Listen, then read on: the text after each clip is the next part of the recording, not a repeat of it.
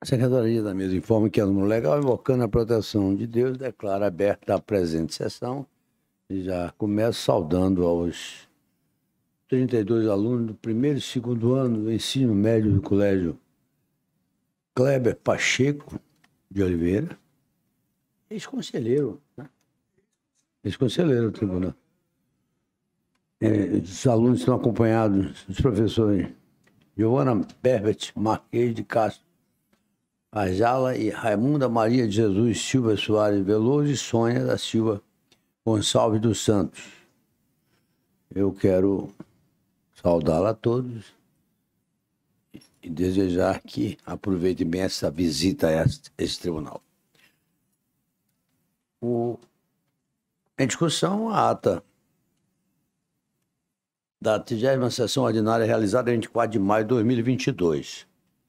Como a discussão, votação, aprovado. Expediente de correspondências, consulta ao secretário de Ceará. Agradeço, presidente. Boa tarde a todos. Não temos, excelência. Expediente, é, conferência. Algum conselheiro deveria fazer conferência? Pelo silêncio também não. Medida cautelar, não há. Para hoje.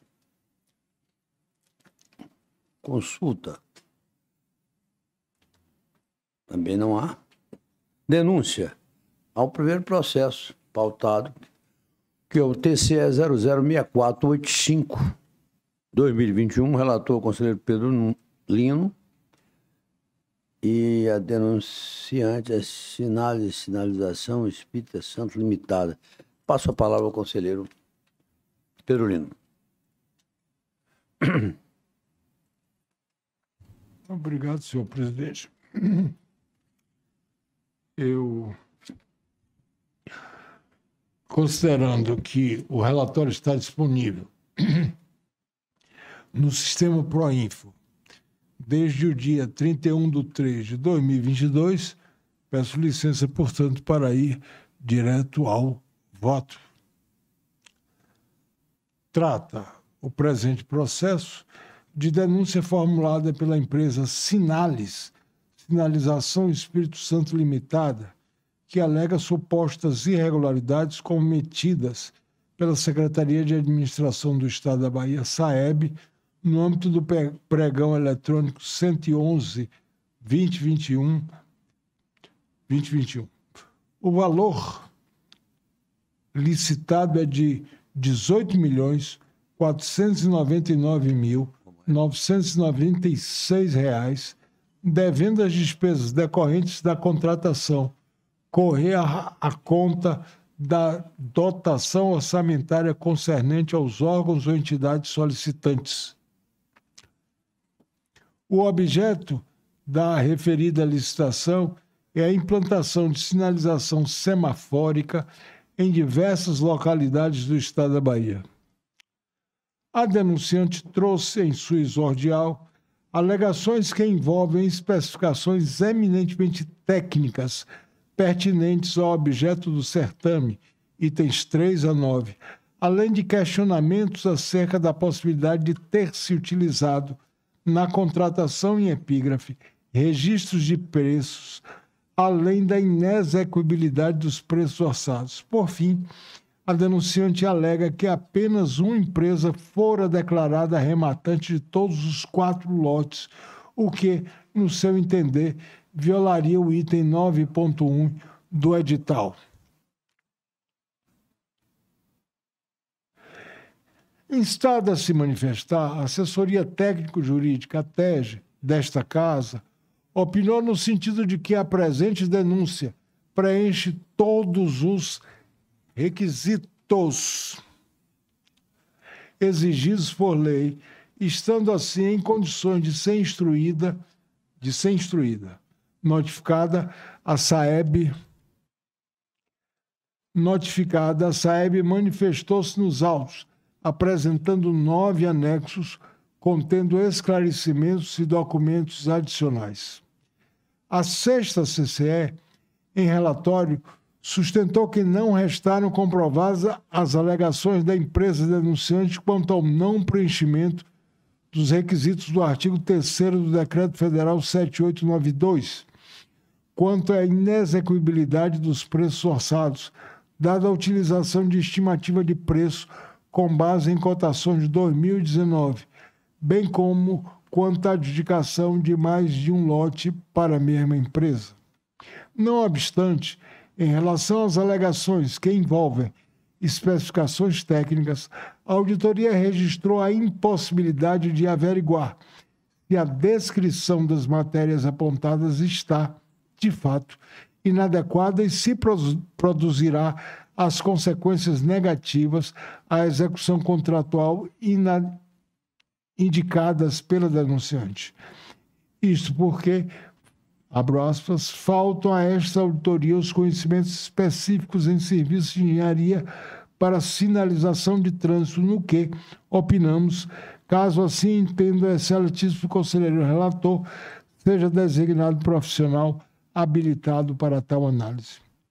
Corrobora a manifestação da unidade técnica o que precitua o artigo 140 do regimento interno desse TCE o qual dispõe que, abro aspas, as auditorias e inspeções serão realizadas por servidores do Tribunal de Contas ou, excepcional e subsidiariamente, mediante contrato, por empresas ou profissionais especializados, sob a coordenação do órgão competente do tribunal e supervisão do presidente. Grifos nossos. De igual sorte, percebe que os artigos 5 parágrafo 2 da Lei 13.192 de 2014 permite, de forma expressa, a participação em auditorias conduzidas nesta casa de especialistas e peritos técnicos estranhos ao quadro de pessoal do TCE-BA. Entendo, entendo não somente ser possível a contratação de profissional ou pessoa jurídica especializada para o cumprimento de atividade especializada complementar à atuação da unidade da autoria, mas também que é possível, em face do princípio da cooperação e sem ônus que esse Tribunal de Contas pode solicitar, e sem ônus, que esse tribunal pode solicitar a colaboração de um órgão público, como, por exemplo, uma universidade ou órgão de perícia judicial criminal que possa executar ou fornecer servidores habilitados para o exercício da função.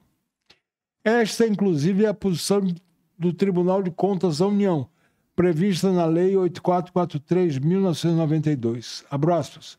O Tribunal de Contas da União, para o exercício de sua competência institucional, poderá requisitar aos órgãos e entidades federais, sem quaisquer ônus, a prestação de serviços técnicos especializados a serem executados em prazo previamente estabelecido, sob pena de aplicação da sanção prevista no artigo 58 desta lei, aquela lei.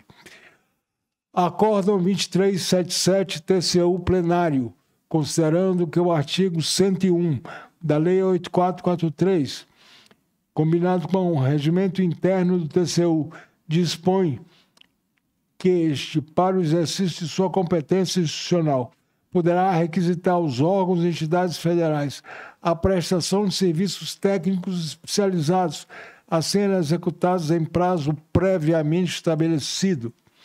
Considerando que a prestação de serviços técnicos especializados a serem realizados serão realizados sem ônus para o tribunal, considerando a necessidade de utilização de serviços técnicos especializados de outros órgãos através da participação de servidores pertencentes ao seu corpo técnico, ao fim de auxiliar no desenvolvimento barra aprimoramento da metodologia de cálculo em comento, os ministros do TCU, quando é ao pro...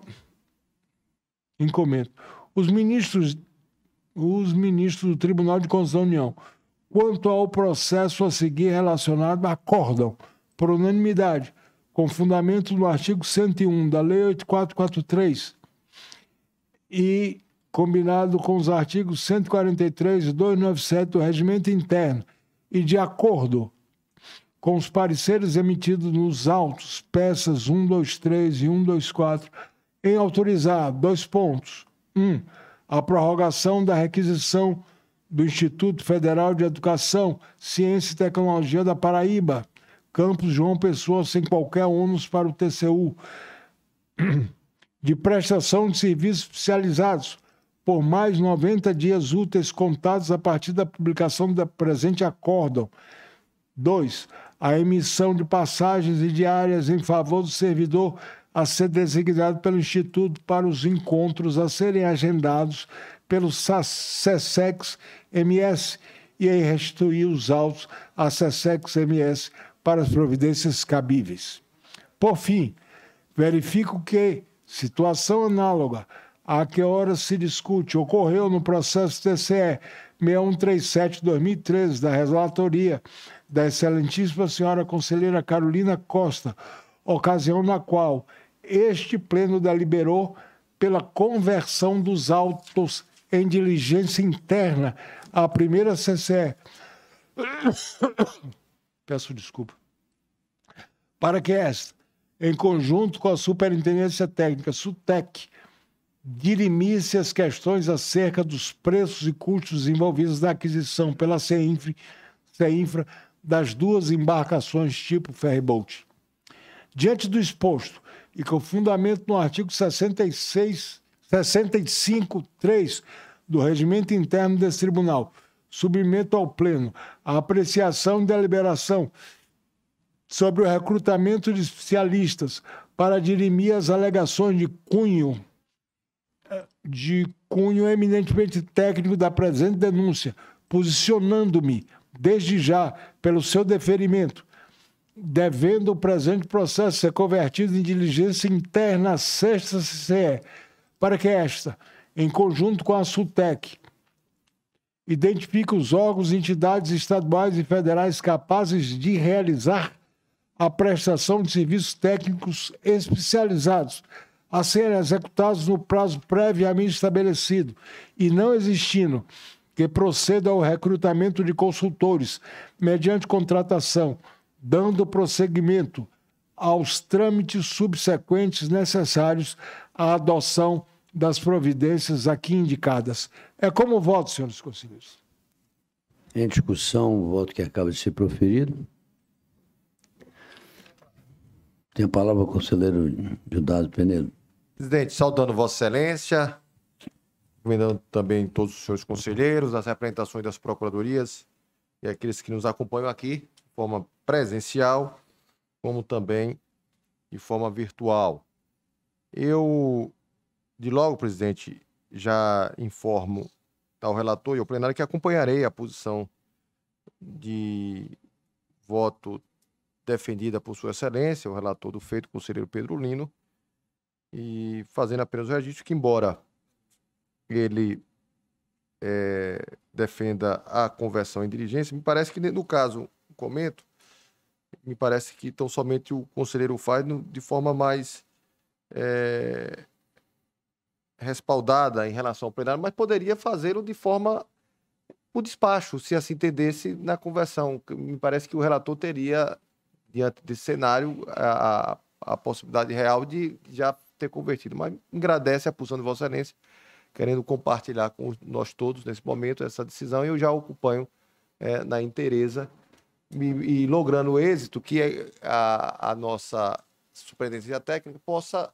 dentre inclusive os convênios já estabelecidos na casa, me parece que nós temos uma série de diversas instituições que poderão, dentro desse é, arco de, de, de, de, ações, possam talvez é, conseguir sem a necessidade de um dispêndio é, financeiro, mas eventualmente, caso assim ocorra, até porque a própria auditoria, no seu parecer, e há respaldo para tanto, ela informa de forma muito dirigente que careceria é, de uma qualificação mais técnica na expertise da matéria, a solicitar, portanto, é, esse tipo de é, providência. E vale também a registro, essa não é a primeira vez que o tribunal se socorre desse tipo de, de é, provimento, mostrando é, que efetivamente nós deremos, deveremos sempre opinar, conselheiro honorato, naquilo que nós temos a consciência plena. E a auditoria, nesse momento, faz é, uma, um encaminhamento prudente para que a gente possa é, emitir o melhor juízo acerca desse assunto. Portanto, acompanho o relator. Continua a discussão. Encerrada a discussão, dou por aprovado. Vossa Excelência confere, conselheiro? Eu dou por conferido. Já vou para o. Agora. Recursos. Tem o primeiro processo. Tem como relator o conselheiro Gildas Penedo Filho como revisor, conselheiro Pedro Henrique Lino Souza. Recorrente é o senhor Jorge José Santos Pereira Sola. O advogado doutor Neomar Rodrigues e as filhos manifestou já o desejo de participar da, e no momento próprio será dado-lhe a palavra. Portanto, tem a palavra agora o conselheiro relator, doutor Gildardo.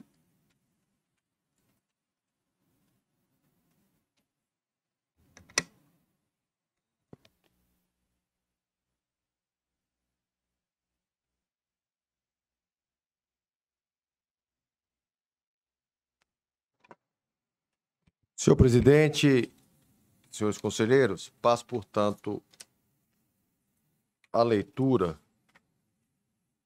do relatório do processo TCE 000861 000861 7 2021. A razão de julgado, tendo como recorrente Jorge José Santos Pereira Sola, advogado Neomar Rodrigues Dias Filho, recorrido ao Estado da Bahia através da resolução 0329 de 2019 da primeira Câmara, relator conselheiro Judas Penedo Filho e conselheiro Pedro Lino.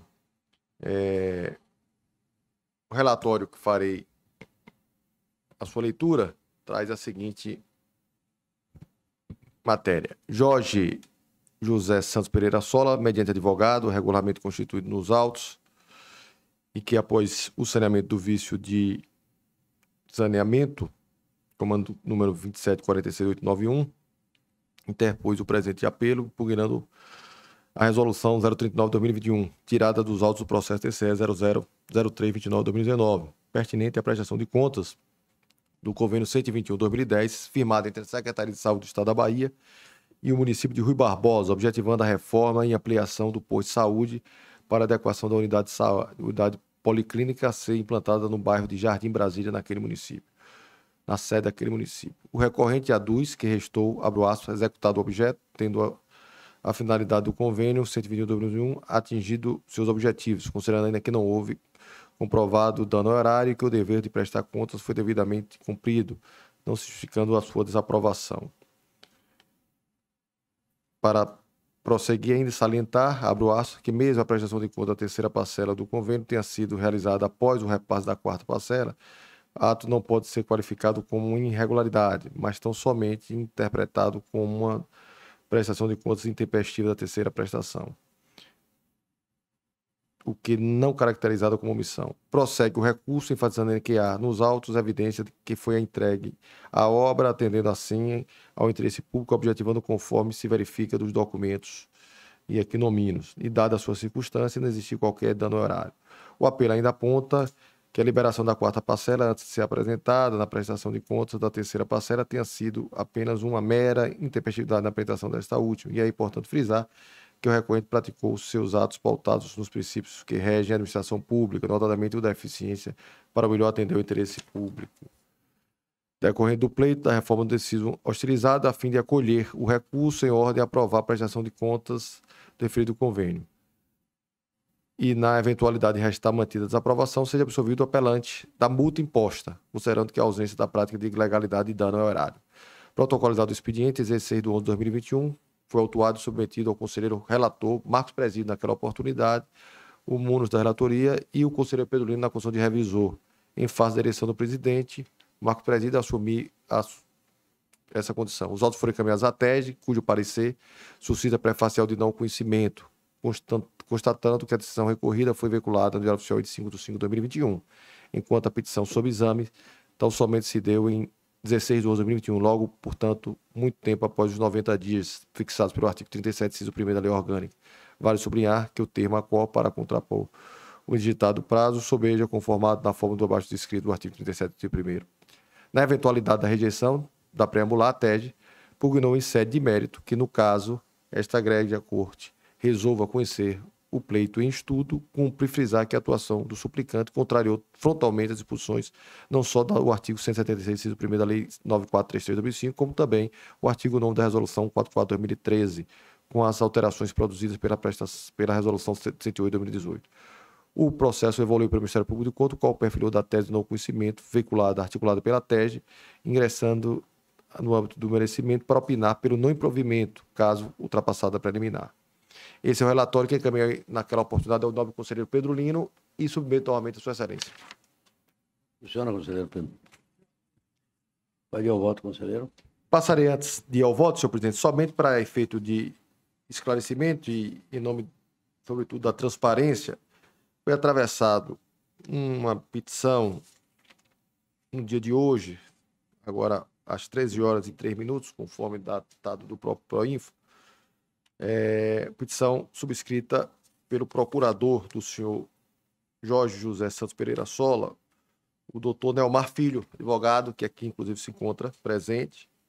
Aliás, é importante o registro, é um dos que mais atua nesta Corte de Contas, doutor Nelmar Filho tem se especializado no ambiente de processo administrativo, no ambiente desse Tribunal de Contas, e merece sempre a atenção da casa.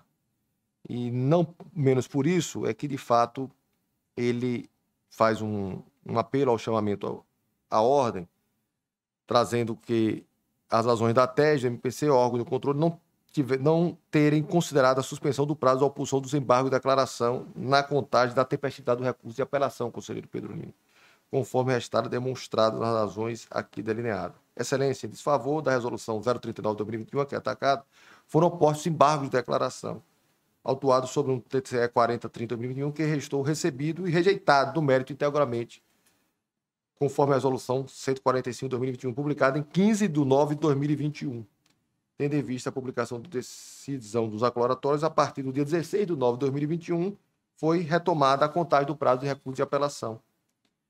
Tomando como exemplo, ele cita, inclusive, decisões já pretéritas da Corte, no supracitado, caso paradigma, os embargos também restaram conhecidos e rejeitados. Nesse sentido, ele apela para que houve eventual violação do, do direito da ampla defesa ou contraditório ao direito do duplo grau de jurisdição apresentado pela manifestação por Vossa Excelência, retire de pauta o processo e repito para que o recurso interposto seja conhecido e analisado pela TED e pelo Ministério Público, como consequente emissão de novos opinativos. Essa, portanto, é a, a, a petição encaminhada pelo nobre procurador e eu quero de logo em que mereça a atenção e o respeito e sempre a cuidade desse nobre causídio, de fato, é, todos os órgãos instrutórios, na sua fase inicial, na fase de preliminar, entendem pela, pelo não conhecimento da matéria, é, não se atentando de fato para esse, esse detalhe importante que efetivamente traria uma nova é, contagem do tempo, que é a opção dos embargos de declaração. Eu tive o cuidado de me certificar através do próprio processo, é, e de fato houve sim uma interposição dos embargos em 15 de 9 é, de 2021, quando foi publicada a decisão, e, portanto, remanescendo o prazo a partir desse momento, o apelo que é alvo, de fato, dessa discussão, ele é tempestivo. Ele é tempestivo, já que ele entrou, adentrou na nossa corte em 16, em 16 de 11 de 2001, 2001, 2021, dia 15 foi feriado, então, portanto, dentro dos, do, dos 60 dias, já que 30 dias teriam sido, de certa forma, recepcionados pelo, pela ação dos próprios embargos. Então, de modo que eu avanço no voto já de logo para destacar, conselheiro Pedro Lina, a cuidade do nobre causídico, mas em que pese todos os opinativos inicialmente terem defendido é, em sede preliminar no conhecimento, eu vou conhecer do feito. Conhecer do feito porque tempestivo face, sobretudo, a essa é, lúcida é, interpretação e demonstração trazida pelo nobre advogado.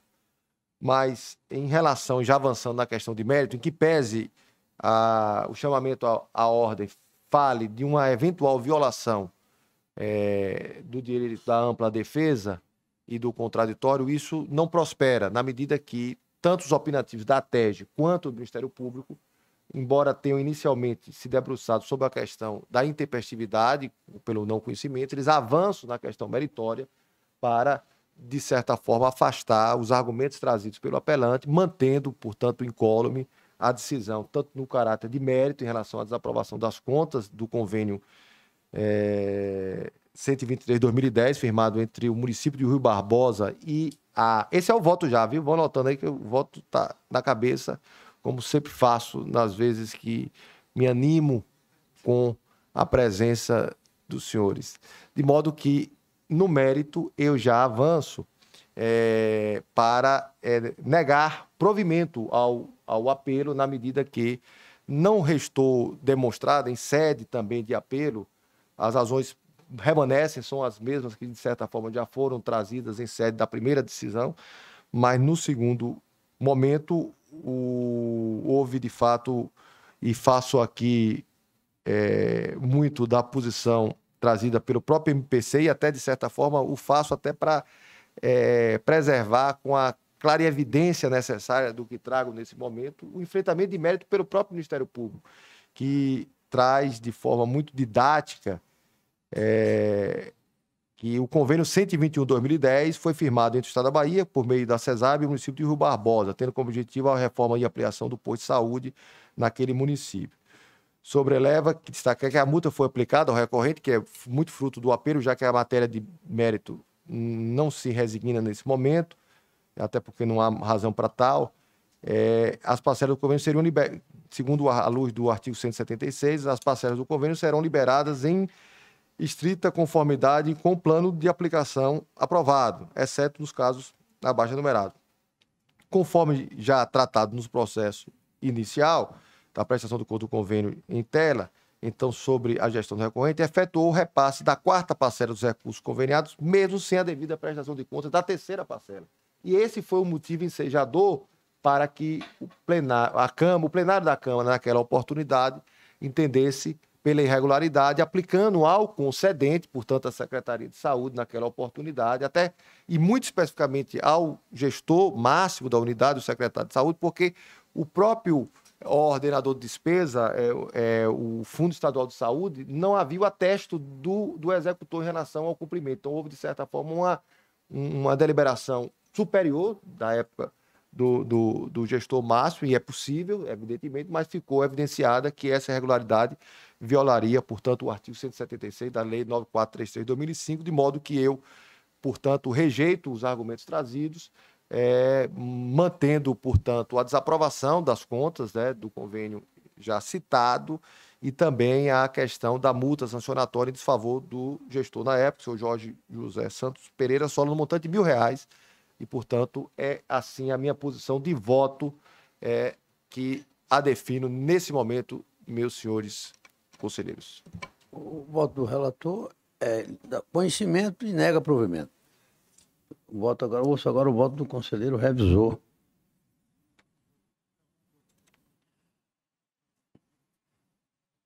Em discussão, o voto da turma. Mas agora, já em discussão, tem a palavra, se assim desejar, o doutor Neomar Rodrigues.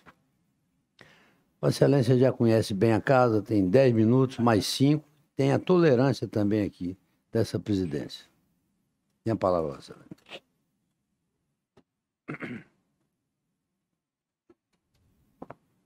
Bom,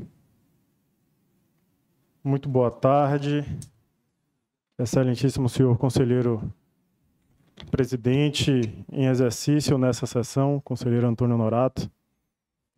Muito boa tarde, conselheiro relator, Gildásio Penedo, demais conselheiros desta Corte de Contas e desta tribuna, eu faço a saudação em nome da conselheira Carolina Costa, certíssimo senhor conselheiro Pedrolino, conselheiro Inaldo, conselheiro João Bonfim, demais servidores desta casa, também faço saudação ao ilustre representante da Procuradoria-Geral do Estado, que oficia nesta Corte de Contas, ilustre representante do Ministério Público de Contas, a todos os participantes aqui presentes, muito boa tarde.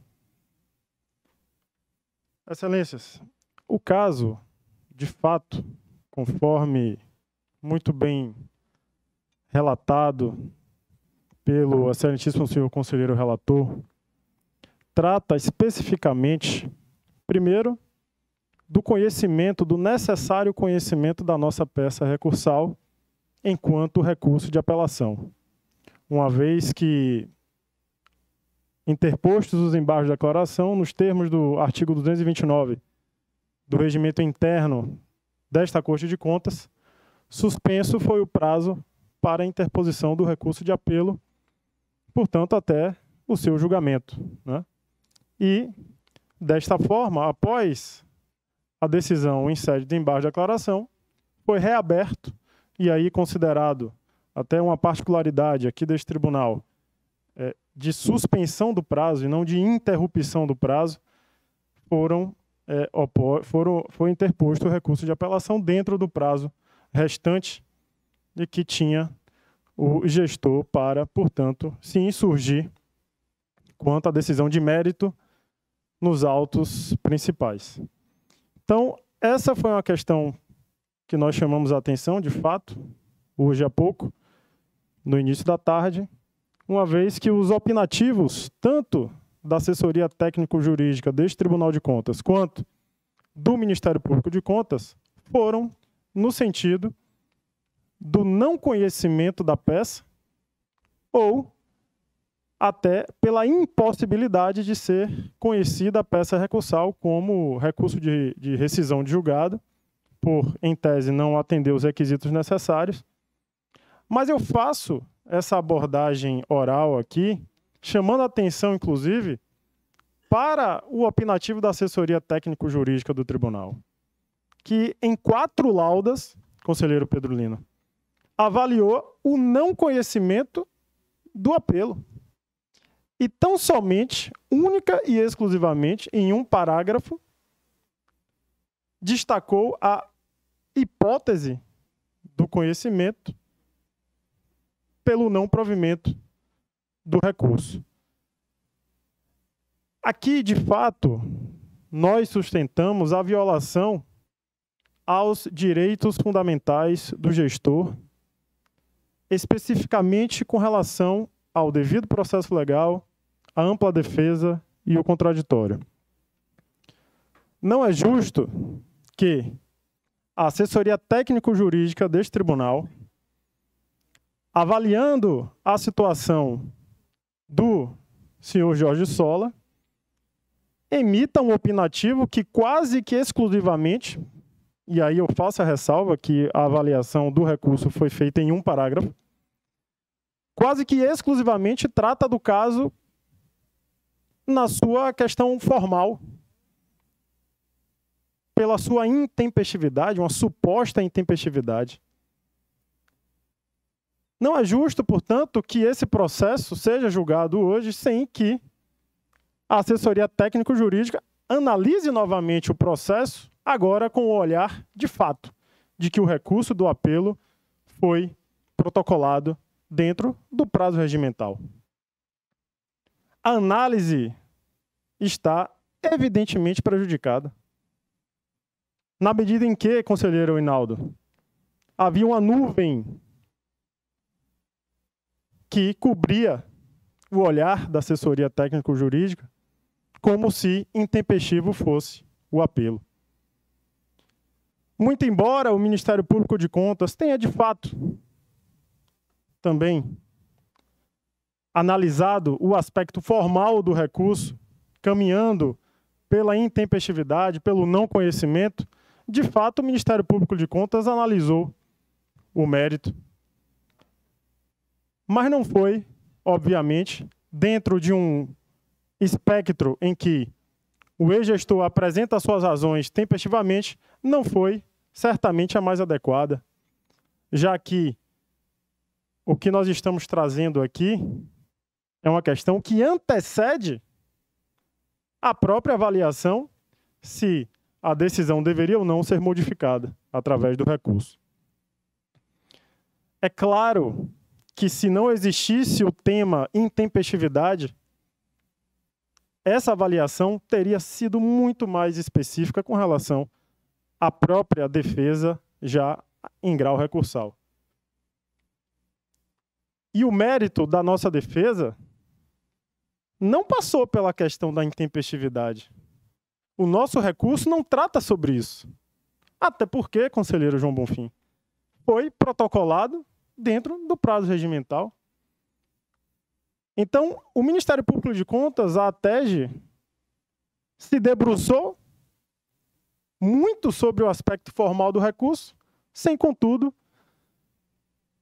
se dedicar, data máxima vênia, e com todo respeito aos dois órgãos opinativos aqui desta casa, sem se dedicar efetivamente ao mérito do recurso. Então, há um pedido, há um pedido que eu sustento aqui desta tribuna virtual, já na presencial. Peço desculpa pelo, pela força do hábito. Mas há um aspecto relevante que houve sim uma falha na tramitação do feito. Não quis o gestor que o, o processo de embargo de declaração não fosse devidamente avaliado quando da análise pela TEG e pelo Ministério Público de Contas. Não quis o gestor. Não teve culpa alguma. E antes de vir aqui a esta casa, protocolamos uma, uma petição de chamamento do feito à ordem, após avaliar especificamente o parecer da TEG, que, repito, em quatro laudas, em quatro laudas tratou da, da sua intempestividade. E eu sustento aqui desta tribuna que esse processo não pode ser julgado nessa sessão. Esse processo precisa, conselheiro Pedrolino, em homenagem, em homenagem aos direitos fundamentais que não preciso aqui lembrar, estão garantidos em, na nossa Constituição Federal. É preciso que esse processo retorne à assessoria técnico-jurídica para uma nova apreciação. Dessa vez, sem, obviamente, se debruçar sobre o aspecto formal que pelas razões até expostas pelo conselheiro relator, já está superada. E é justo, conselheiro João Bonfim, que esse processo retorne também ao Ministério Público de Contas, conselheira Carolina Costa, para que este órgão,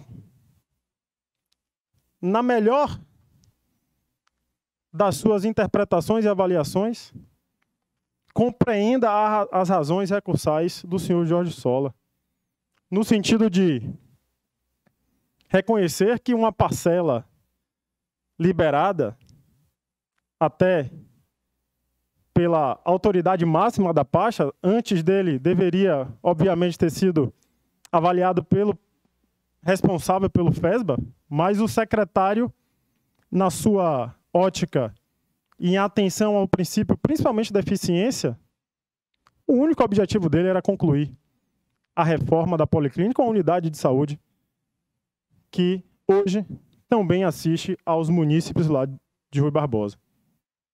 Então é preciso, e não vou me alongar muito mais nessa defesa, que o Tribunal de Contas avalie o que era mais importante, considerando que não houve prejuízo horário, que a obra foi efetivamente realizada, que a policlínica hoje funciona atendendo os munícipes lá de Rui Barbosa e região. Mas é claro que nós precisamos lembrar que este tribunal possui não só a função de reprimir, mas a função que, para mim, conselheiro Hinaldo da Paixão, é muito mais relevante, que é o caráter pedagógico das suas decisões. Então, o Tribunal de Contas do Estado da Bahia, em atenção ao caráter pedagógico, principalmente, considerando os elementos concretos desse processo, não deve multar, até por um valor que não é expressivo, mil reais, mas não deve aplicar. Só para o controle, já há 10 minutos, tem mais 5 e Perfeito. tolerância. Perfeito. Agradeço, conselheiro Antônio Norato. Então, já para concluir, o caso concreto exige deste Tribunal de Contas uma avaliação muito mais pedagógica do que repressiva. Até porque o objetivo do gestor, à época, foi permitir a conclusão da obra tão importante para servir aos cidadãos locais. Então, conselheiro relator Gildásio, eu caminho para a conclusão da minha defesa oral, já agradecendo em nome de doutor Luciano Chaves toda a atenção que os servidores dessa casa têm com os advogados, com os jurisdicionados. É muito importante saber que nós, que viemos participar aqui nessa tribuna, tenhamos esse acolhimento. E recentemente foi inaugurada aqui a Sala dos Advogados, da qual ainda não tive a oportunidade de conhecer, mas hoje, saindo daqui, vou lá conhecer a sala. Parabenizar também a todos os integrantes desta casa, os conselheiros, servidores, pela, pelo brilhante trabalho que vem realizando em prol, principalmente, do caráter pedagógico de suas decisões. Pela atenção, muito obrigado. Continua a discussão. Tem a palavra que já me solicitou aqui o representante do Ministério Público, doutor Tarcísio. Muito obrigado, senhor presidente. Desde já saúdo Vossa Excelência. E em nome de Vossa Excelência, eu saúdo o conselheiro relator e os demais conselheiros aqui presentes, o nobre representante da Procuradoria-Geral do Estado, doutor Benilson, doutor Luciano Chaves, todos aqueles que nos assistem nos ouvem, doutor Nelmar Filho, a quem muito atentamente ouvi nesta oportunidade. Senhor presidente, antes de mais nada, eu gostaria de registrar aqui que muito atentamente ao que falou o conselheiro Gildásio Penedo Filho, observa que de fato houve um equívoco no parecer do Ministério Público de Contas, quando nós preliminarmente suscitamos ou sugerimos o acolhimento de uma preliminar de intempestividade que já havia sido inclusive suscitada pela TED no parecer anterior. Então, neste momento aqui, eu ratifico o meu opinativo para afastar essa alegação de intempestividade que, por tudo quanto foi dito aqui nesta tarde, eh, se revela equivocada. No entanto, eu deixo claro o registro que inclusive já foi feito pelo conselheiro Judas Penedo Filho de que o Ministério Público de Contas, que é o órgão que tem que se manifestar ao final da instrução processual, avançando após a admitir a possibilidade de essa preliminar ser não acolhida, avançou no exame de mérito. Então, inclusive, voto de Vossa Excelência, conselheiro Judásio, traz numa fundamentação per relaciona, parte da manifestação do Ministério Público e foi a manifestação possível considerando essa eventualidade. Então, o Ministério Público de Contas, quando caminha para fazer um exame de mérito, mesmo quando sugere o acolhimento de uma preliminar, ele o faz de forma mais exauriente, analisando todas as alegações dos gestores e partindo da premissa de fato de que aquela preliminar pode não ser acolhida pelo Tribunal Pleno. Um outro ponto que merece aqui atenção é em relação à oitiva da TEG eu observo que muitos conselheiros aqui têm é, uma, uma intenção de muitas vezes ouvir o maior número possível de opinativos em ordem a propiciar um entendimento mais completo da realidade dos autos. E isso se faz muitas vezes mediante a conversão do feito em diligência. A TEG, em alguns momentos, a própria Procuradoria-Geral do Estado em estado a se manifestar, mas é preciso observar que a manifestação desses órgãos instrutórios ela é facultativa, de maneira que eventual não oitiva da TED não implicaria jamais uma nulidade processual. E olhe que nós estamos lidando com uma situação aqui em que a TED foi ouvida. Ainda que a TED tenha adotado uma compreensão que não seja a compreensão mais adequada, como não foi também a manifestação preliminar do Ministério Público, porque acolheu equivocadamente uma preliminar de intempestividade, houve a manifestação da TED, que, repito, não é obrigatória. Então, é preciso atentar para isso, porque, veja, quem decide é o Pleno. Quem decide são os conselheiros do Tribunal Pleno e é contra as decisões do Tribunal Pleno que se recorre.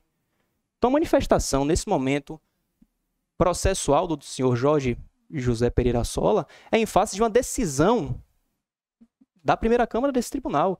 Não é jamais uma decisão, uma, um recurso, uma manifestação, uma contestação contra um parecer da TEG, contra a manifestação da auditoria, contra um opinativo do Ministério Público de Contas. Então, observe que, assim, com todo respeito à manifestação trazida nesse momento pelo ilustre advogado, o Tribunal de Contas tem que ter a devida preocupação em não acolher certas alegações que, no final das contas, vão permitir que se interponham recursos que se contrariem posicionamentos contidos em manifestações instrutórias ou em manifestações do Ministério Público de Contas. Então, em resumo, e para não me alongar mais, eu reitero que a manifestação da TEG, embora tenha sido, assim como a manifestação do Ministério Público em sede de preliminar, uma manifestação equivocada, porque acolheu equivocadamente uma preliminar de intempestividade, a manifestação da TEG, por força do que dispõe as regras que disciplinam as diretrizes operacionais desse tribunal, ela não é uma manifestação obrigatória.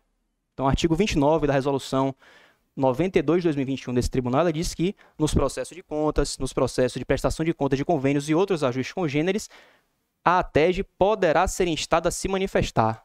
Então, embora, repito, muitos conselheiros de forma louvável gostem e tenham interesse em ouvir a manifestação da ATEG, que é sempre uma manifestação muito qualificada, essa manifestação não é obrigatória, de maneira que a não oitiva da ATEG não implica nenhuma nulidade processual. A manifestação do Ministério Público de Contas, embora em sede preliminar tenha equivocadamente sugerido o acolhimento de uma preliminar de intempestividade, ela, manifestação do Ministério Público, avança no exame de mérito.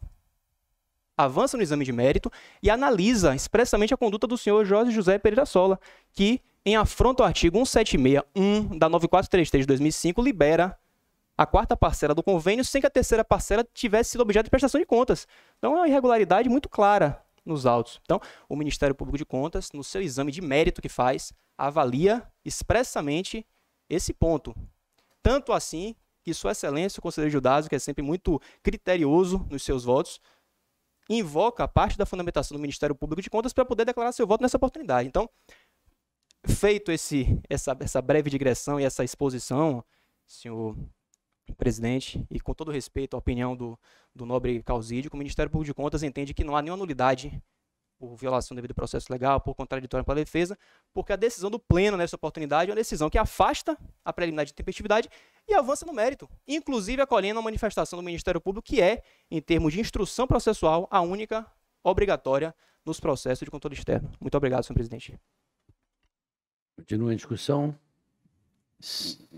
Pois não, conselheiro Só, somente para poder é, esclarecer e é, muito sobre a fundamentação trazida pelo nobre Causídio, que embora, volta a citar, ele se vale dentro das suas absolutas e legítimas prerrogativas de defesa dos seus argumentos, da sua, da sua fundamentação, é, é importante destacar que, que, de fato, não há nenhum prejuízo, nenhum prejuízo à, à defesa no que tange a própria ordem processual da casa, de ver enfrentado, sobretudo, os argumentos que foram trazidos no seu, no seu pleito.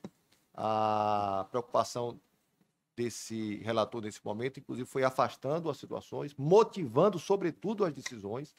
Isso é importante a gente ter a necessária é, clareza da obrigação, sim, da, do voto do relator, do voto da turma e, sobretudo, da decisão do plenário em sede de, de, de menta e no acordo haja a devida motivação é, à luz, inclusive, sim, aí de, de, de possibilidade de nulidade é, de uma decisão. Então, nesse aspecto, é, é, não há, e eu quero tranquilizar o nobre é, procurador, em que pese, de fato, inicialmente, os órgãos opinativos terem aventado, porque assim poderia fazê-los, em relação à questão da interpessoalidade, essa relatoria o afasta, e mais, o próprio Ministério Público reconhecendo nesse momento a sua, a sua, é, a, o seu equívoco naquele momento, faz uma correção de parecer, de rumo, é, inclusive conhecendo, e muito é, importante se diga, dada a cuidade do, do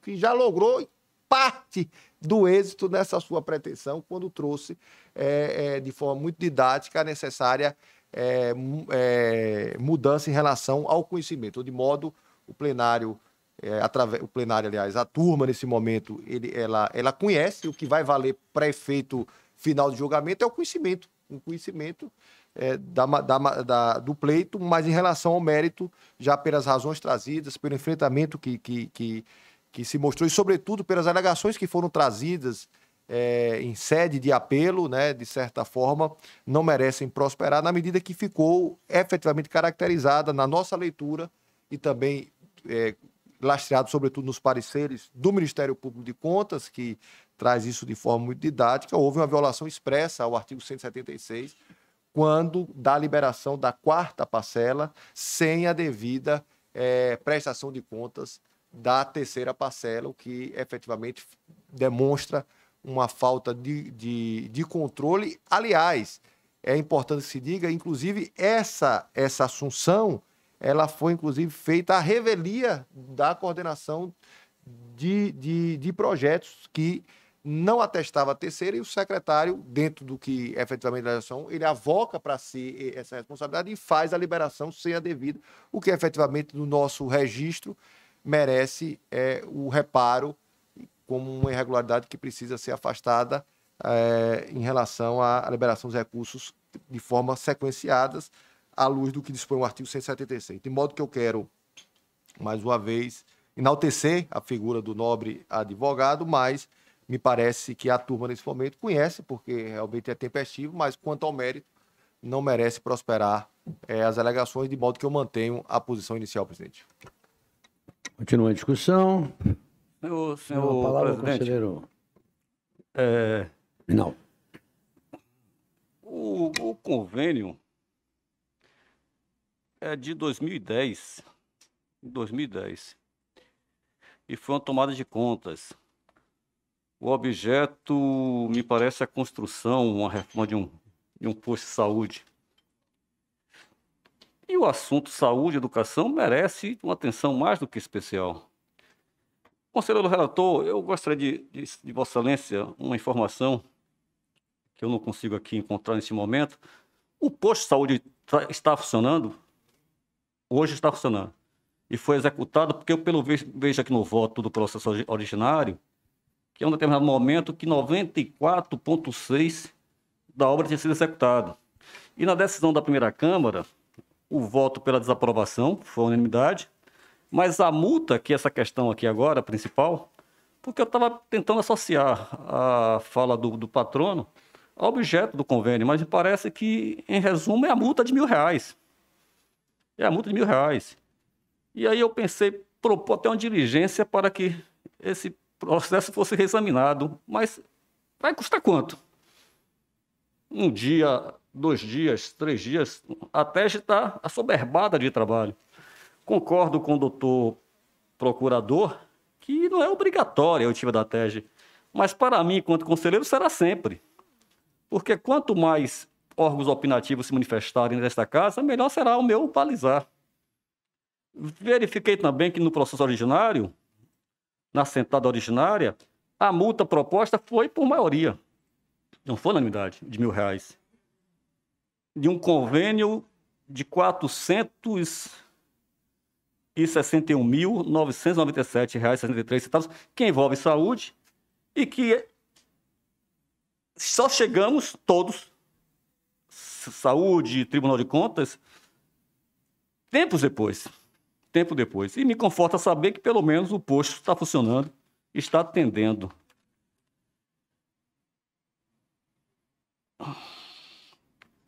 Eu tento aqui, senhor presidente, senhores conselheiros, eu vou pedir vista. Vistas concedida. Vamos agora então para o próximo processo, que tem como relatora a conselheira Carolina Matos Alves Costa, revisor o conselheiro Pedro Henrique Lino Souza, É uma apelação recorrente ao Olímpio Cardoso Filho. Tem a palavra a conselheira. Obrigada, senhor presidente. Já Hein? cumprimento a todos os presentes, excelentíssimos pares, também procuradorias do Estado, Procuradoria do Ministério Público de Contas. Farei então a leitura do voto.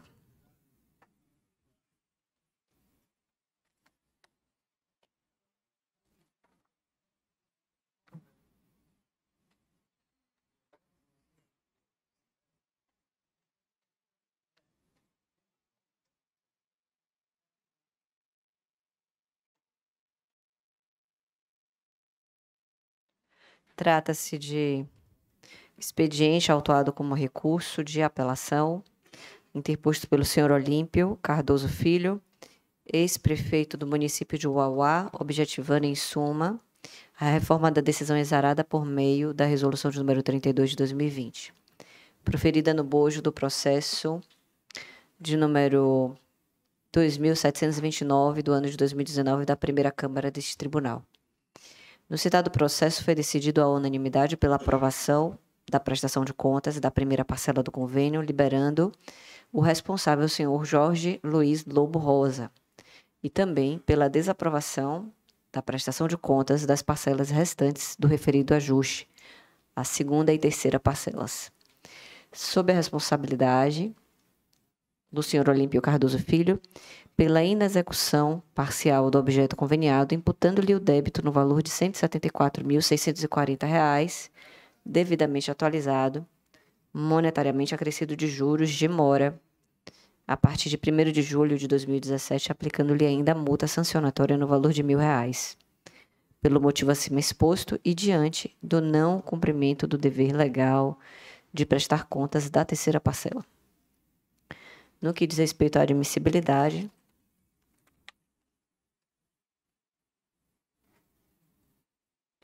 Registra-se que a decisão objeto do presente recurso foi disponibilizada no Diário Oficial deste Tribunal no dia 6 de maio de 2020, expirando-se, portanto, o prazo para o manejo da pretensão em 10 de agosto de 2020.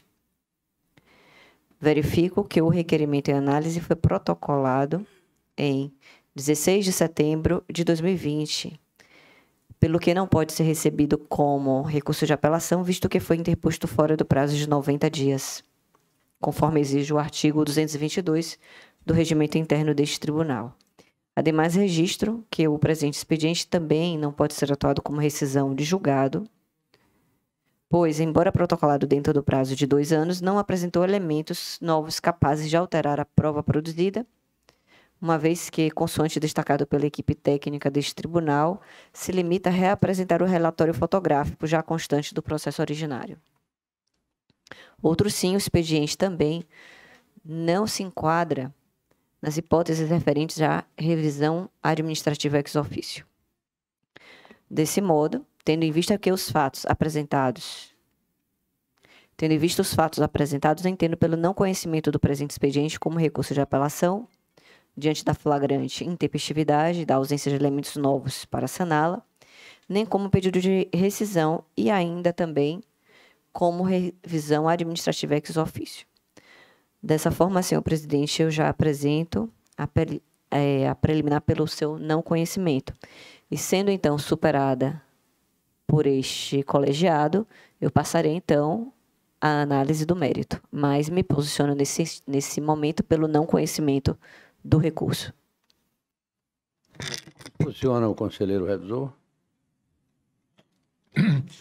Senhor presidente, senhores conselheiros, como sempre, a conselheira Carolina precisa do seu voto e, evidentemente, eu acompanho com muito gosto. E eu coloco em discussão. E eu encerro a discussão e dou por aprovado. Vossa Excelência confere? Confiro, Excelência. Bueno. Bom, vencida aqui a pauta, nós vamos agora para embargo de declaração, que não há. Reclamação Matéria administrativa também não há. Requerimento e indicações. Comunicações e moções, senhores conselheiros. Eu tenho um. Vou fazer três comunicações a esse plenário. Primeiro, aí na condição de relator de processo.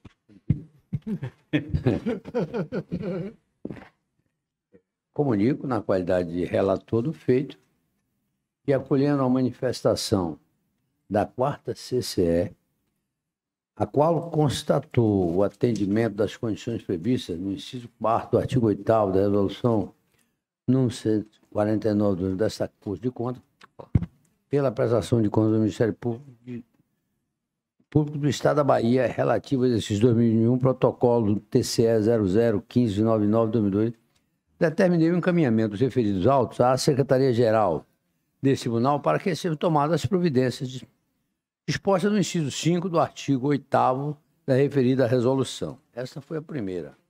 A segunda, também comunico, na qualidade de relator do feito, que acolhendo a manifestação da primeira CCE, a qual constatou atendimento das condições previstas no inciso 4 do artigo 8 da resolução número 149 de 2019 dessa Corte de Contas, pela prestação de contas da companhia, pela prestação de contas da Companhia Transporte Estado da Bahia relativa ao exercício 2021, protocolo TCE 003666 2022, determinei o encaminhamento dos referidos autos à Secretaria-Geral deste Tribunal para que sejam tomadas providências dispostas no inciso 5 do artigo 8 da referida resolução. E, por último, eu comunico, por sugestão do Ministério Público de Contas, o sobrestamento do processo TCE, número TCE 004557-2020, relativo à prestação de contas do Fundo Estadual de Saúde, exercício 2020, destacado o processo originário TCE 001390-2021, até a conclusão do julgamento do processo de auditoria número TCE 003682-2020, que abordam irregularidades comuns às análises do referido processo. São essas três comunicações. Essa já, palavra, já vejo ali que o conselheiro Inaldo acende o farol ali do, microfone, passa a palavra para ele. Senhor presidente, senhores conselheiros, eh, eu vou propor uma moção de pesar pelo falecimento de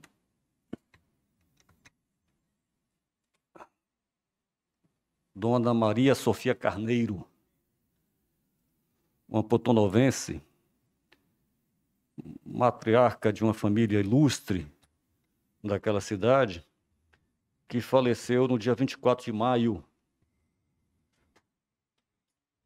E é a genitora do nosso companheiro, e assim ele é chamado aqui na casa, Amilson Carneiro de Araújo, presidente do SINTECE. A, a matriarca da família Carneiro, e que o seu passamento causou uma consternação na, na cidade de Ponto Novo, teve uma vida longeva, falecendo aos 102 anos de idade,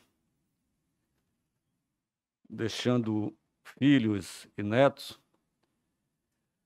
com quem nos solidarizamos neste momento de, de passar.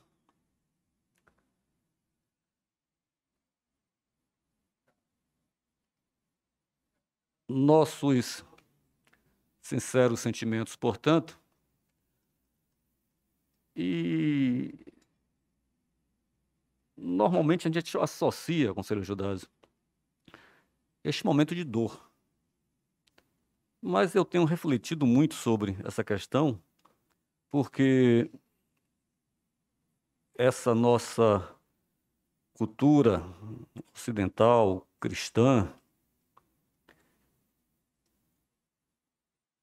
precisa cada vez mais fazer valer aquilo que a gente prega todo dia. Que no nosso credo afirmamos que cremos na vida eterna. E a morte é uma mera passagem. E Dona Sofia, nome bonito, sabedoria, viveu 102 anos. 102 anos. Que neste momento, portanto, de passagem, de transformação e de encontro à, à vida eterna, que doutora, que a senhora Maria Carneiro vá em paz e que aqueles entes queridos que aqui ficam guardem a saudade e a lembrança. Porque, doutor Luciano, quando tudo se vai, o que há de ficar é a saudade, é a lembrança. É, portanto, os meus sentimentos para, para a família enlutada, senhor presidente. O São Ata que acaba de dizer. Ô, proposta. Moção. Aprovado. É. Continua, comunicações de moções. A secretaria, evidentemente, que irá, irá encaminhar a cópia do- da moção. E eu passo a palavra agora ao conselheiro Bonfim. Nossa, desculpa. Fala. Não, Um somente para encaminhar não só a família enlutada, por óbvio ao doutor Amilson, mas também a prefeitura e a Câmara de Ponto Novo, porque inclusive decretaram luto oficial. A secretaria fará esse encaminhamento se correr mais algum endereço, é comunicar que fará. Ó, Pois não, conselheiro, conselheiro Bonfim, a palavra. conselheiros, senhores procuradores, somente para apresentar a quitação referente ao processo TCE 1280 de 2020. De acordo com o artigo 12, inciso 5 do regimento interno dessa casa, confiro quitação ao senhor Diogo Rodrigues Medrado, da multa no valor de um mil reais, nos termos do artigo 24, inciso 3 da lei orgânica desse TCE Bahia, imposta pelo Pleno deste Tribunal, por meio do acórdão 168-2021, tendo em vista as informações con- contidas nos autos, que confirmam o seu efetivo pagamento. Pois não, o plano se dá por inteirado. O que ocorrer, resta-me agora agradecer a presença de todos e declarar encerrada esta sessão.